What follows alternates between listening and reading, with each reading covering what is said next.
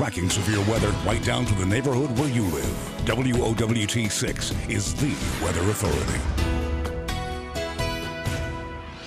Hopefully you're enjoying this Saturday evening. Mild and muggy conditions, partly cloudy skies, and for the most part, we're still quiet, but watching showers or thunderstorms off to the west. They'll gradually be sliding to the east as we go through the overnight period. And again, mild and muggy conditions, temperatures upper 60s to lower 70s will hold here through the overnight period. Again, partly to mostly cloudy skies. Notice the showers and storms off to the west gradually start to push off to the east. They're going to weaken just a little bit. We're not expecting any severe weather here in and around the metro, but again, some showers and thunderstorms possible as we go through the late overnight period to start our Sunday as well. Temperatures into the upper 60s.